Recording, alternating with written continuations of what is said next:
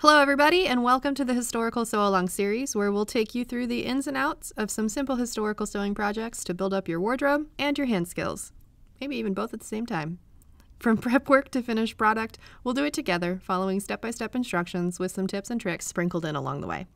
This series is meant for all skill levels, but it is especially nice for beginners to build confidence while building a solid toolkit of techniques. So feel free to pause, rewind, rewatch, and fast forward to whichever parts you need as many times as necessary. So, with all of that said, let's get to the good stuff. Today's video is part one of three in our Apron Sew Along series, and I know that a lot of you have been wondering about patterns for some of these projects, and we do have some more sew alongs in the works that will have a pattern component, but for this project, we're gonna kick it a little bit old school, and by that I mean a la 18th century milliner, where numbers are a crutch and inches are optional. If you're clutching your yardstick right now, please don't worry. You can very easily adapt these methods with measures. We just want to really encourage you all to start thinking outside of the inch and inside of the 18th century.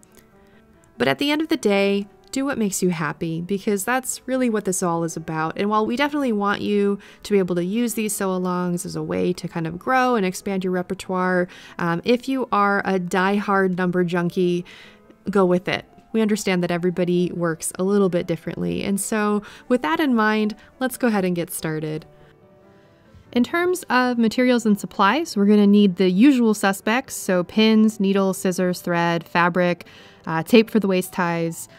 Some of you were asking some really great questions on our live about thread, so I just wanted to cover some of the basics here too.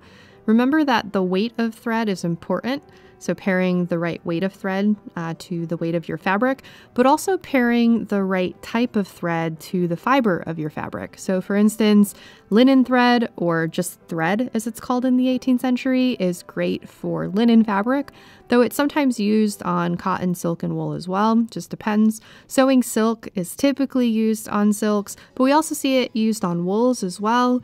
And lastly, sewing cotton uh, can be used for stitching on cotton fabrics. Make sure you have done any prep work for your fabric, such as pre-washing or pressing if it's necessary. And once your fabric is ready, let's go ahead and figure out the dimensions for our apron. As with our petticoat, we are going to use string theory but not like the crazy physics kind or anything like that to take a physical measure. So grab your string or tape and get yourself in front of a mirror. There really isn't a standard length or width to aprons in the 18th century. So we are just going to make a basic working apron for this tutorial. If you are copying an image, you can use these techniques and just adjust the size of the apron by eye to make your apron match whatever 18th century image it is that you are trying to replicate. So to start, let's measure for length, and we're going to do that by tucking the string into our waistline and adjusting the end of the string until we find that it's hanging at the level that we want the hem of our apron to be. Add about 3 quarters of an inch or so for seam allowance and then mark it with a pin on your tape. If you have stays and your petticoat, it's nice to take this measurement on top of those to get an idea of where your apron will rest in relation to your petticoat hem, but it's not necessary, so that is completely up to you how you want to take that measure. If you need a numerical measure for ordering purposes, again, just lay the string next to a measuring tape and you can record the results. First, let's lay out our fabric and we will use the stringer tape to mark our desired length, just like we did with the petticoat. So just make a small cut to mark the spot. Then depending on your fabric, here you might choose to tear or cut your length. If your fabric doesn't tear well, go ahead and pull a thread by locating one of the weft threads on either side of your snip, and then very carefully pull that thread out from the width of your fabric. Use your scissors to cut in the gap left by pulling the thread. Uh, in the case of our checked fabric, we can actually cut along one of the cross grain threads, but we're only really able to do this because this check is woven and we have that woven stripe that runs cross grain. If this were a printed check, this would not be a very reliable way to determine if we're getting a straight cut. You could technically do this on solid fabrics as well if you have really good eyes, but sometimes it can be easy to lose the thread on the solid fabrics if you don't pull a thread first. So once your length is cut, we're going to cut the width. And this is a largely subjective decision as each body differs, time periods will make this differ, and so on and so forth. So consider the amount of coverage that you want for your apron and any pictorial or extant evidence that you're working with when deciding on the width of your apron panel. I think for most people, somewhere around 45 to 50 inches or so tends to work pretty well for a simple full coverage kind of working apron. If you feel like your fabric is too wide for your taste or for whatever original you're working off of, go ahead and trim some from one side. If you are thinking of binding your apron with self fabric, set aside any extra that you cut off to use later. Now is also a really good time to get rid of any unwanted, furry, or otherwise unusable salvages.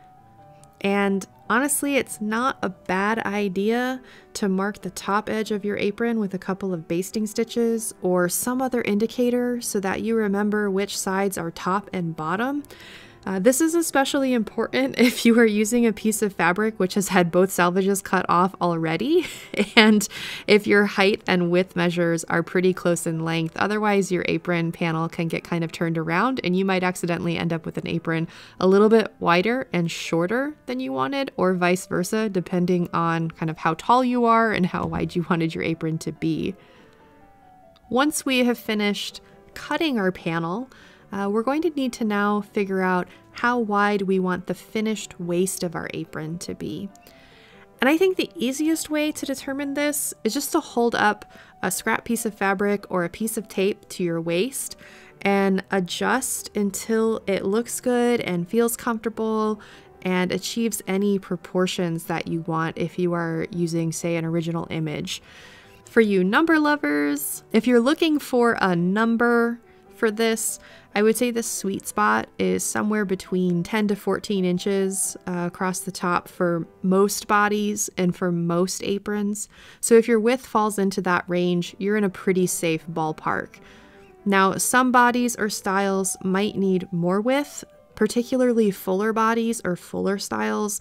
There are some aprons from the 18th century that are almost a full half waist measure, while others are maybe only a third of the waist measure in the front of the body. So just keep that in mind when you are working on this project is that there aren't a lot of hard boundaries here. There aren't a lot of rules necessarily.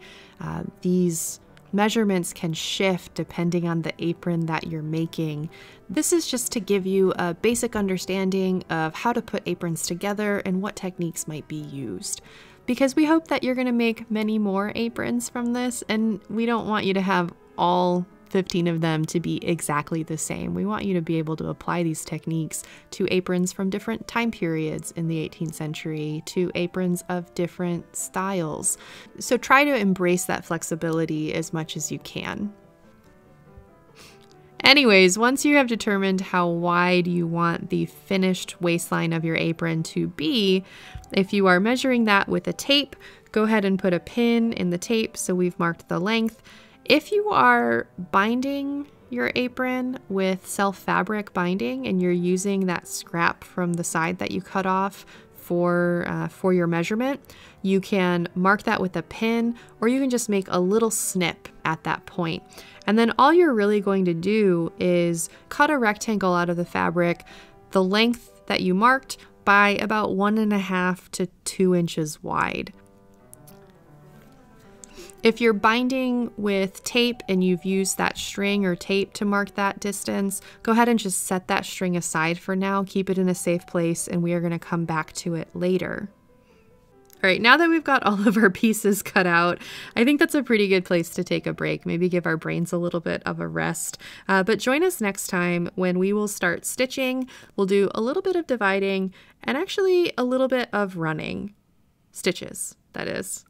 Um, before we go, though, friends, we have enjoyed sharing um, our fur babies with you, but we would love for you to actually share yours with us. So if you want to use the hashtags here and below in the descriptions to share your pet pictures or videos with us on Facebook and Instagram, we'll be featuring some of your pets in our upcoming sew alongs.